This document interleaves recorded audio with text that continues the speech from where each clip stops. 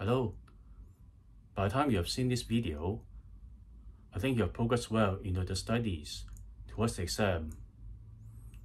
So um, let me tell you, I've started a quiz section under the community tab of my channel, uh, one for each chapter, starting from chapter 1 through chapter 9, and then back to chapter 1 again. Please check it out. Thank you.